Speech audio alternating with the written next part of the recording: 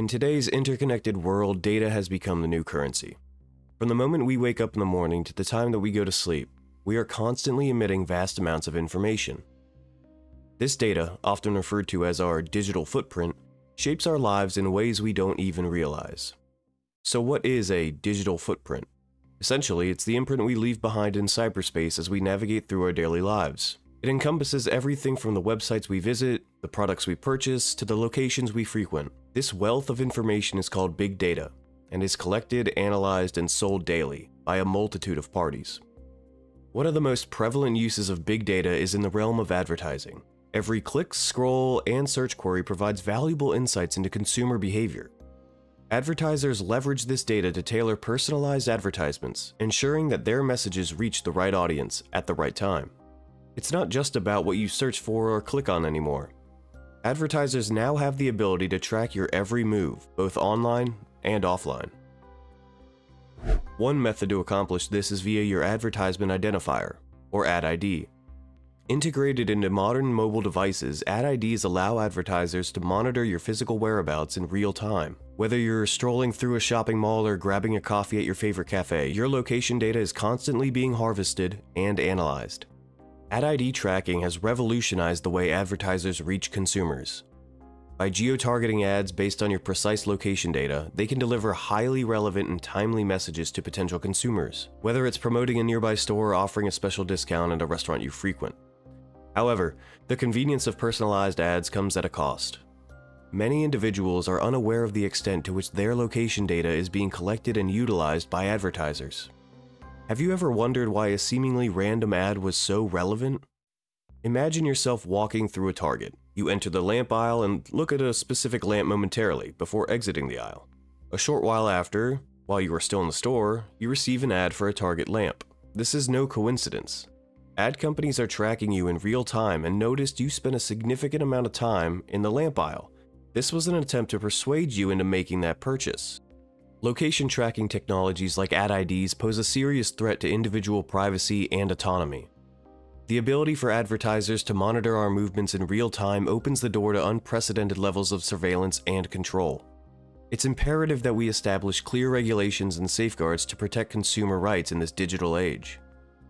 In response to growing concerns about data privacy, governments around the world are implementing stricter regulations on the collection and use of personal information from the European Union's General Data Protection Regulation, or GDPR, to California's Consumer Privacy Act. These laws aim to empower consumers with greater control over their own data. However, once this data is online, it's extremely difficult to remove. Take data aggregators, for example. These sites purchase pieces of information primarily from credit bureaus and piece together intricate profiles of individuals. This data can include anything from your current address, your phone number, email addresses, previous addresses, and even a list of family and friends. Since I'm using this as an example, I blurred all personal information. However, if you were to try this with your own name, you could see how accurate these websites truly are. The example on screen now is from a site called Fast People Search, and right now it's showing me where this individual currently resides, their associated phone numbers, email addresses, aliases, information on their house, previous addresses, and a pretty lengthy list of relatives and associates. And this is only one out of the hundreds or thousands of similar free websites out there. But there is a silver lining. You can request your information be removed from these websites. Most of the websites have an option to opt out, and others require you to email your request in. Some websites, to dissuade you from removing your information, require you to present a scanned photo ID. While targeted advertising may seem innocuous, it raises serious concerns about privacy and consent.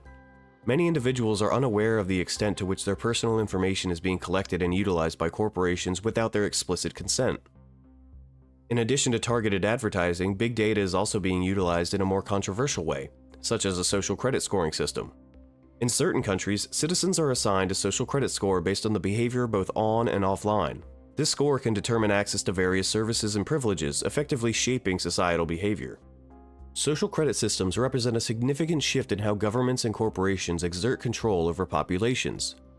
By leveraging big data and algorithms, these systems have the potential to influence individual behavior on a massive scale, raising concerns about surveillance and social manipulation. The Chinese social credit system represents a powerful tool of social control, By linking scores to accesses to services and opportunities, the government effectively influences and restricts individual behavior on a massive scale. One of the most striking examples of the social credit system's impact is the restriction on travel. Citizens with a low social credit score can be barred from purchasing plane or train tickets, effectively limiting their freedom of movement. This can happen for a variety of reasons, from unpaid debts to posting critical comments on social media. Imagine not being able to visit family, attend a job interview, or even seek medical treatment in another city because of a low score in an arbitrary social credit system. Beyond travel restrictions, the social credit system also employs public shaming as a tactic to enforce compliance. In some cases, individuals with low scores find their names and offenses publicly displayed on billboards or online, subjugating them to social isolation and humiliation.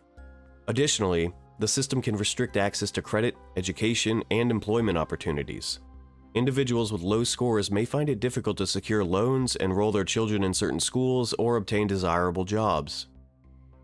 As cities around the world strive to become smarter and safer, the implementation of safe city technology has become increasingly prevalent. These initiatives, designed to enhance public safety and security, often leverage big data, surveillance cameras, and advanced analytics. However, the benefits of these technologies come with a significant trade-off and potentially negative consequences. Safe City programs typically involve the integration of surveillance cameras, facial recognition systems, and real-time data analytics to monitor and respond to criminal activities and emergencies. While these technologies can undoubtedly aid law enforcement, they also raise serious concerns about privacy, civil liberties, and the potential for abuse. Facial recognition technology in safe cities presents significant risk, there are concerns about the accuracy and potential biases of the systems, which can lead to wrongful identification. Additionally, the data collected is vulnerable to breaches and misuse, posing a serious threat to individual privacy. Beyond privacy and security concerns, the implementation of safe city technologies can also stifle public dissent and freedom of expression. The presence of extensive surveillance can deter individuals from participating in protest or voicing dissenting opinions, fearing retaliation or surveillance. Take London, for example. Over 627,000 CCTV cameras are active on its streets. However, that number is nothing compared to what we see in Beijing. According to Surfshark, Beijing has approximately 1,150,000 CCTV cameras. I highly recommend playing around with the tool that they have hosted on their website. Here you can compare the difference between cities around the world and find out which cities are the most surveilled. I'll leave a link in the description below if you want to give it a try yourself. Bottom line, Navigating the systems of big data, surveillance, and privacy presents both remarkable opportunities and formidable challenges. Safe cities and social credit systems offer glimpses into a future where technology can enhance our lives in unprecedented ways. However, they also serve as cautionary tales of the potential for a dystopian type future that erodes our fundamental freedoms.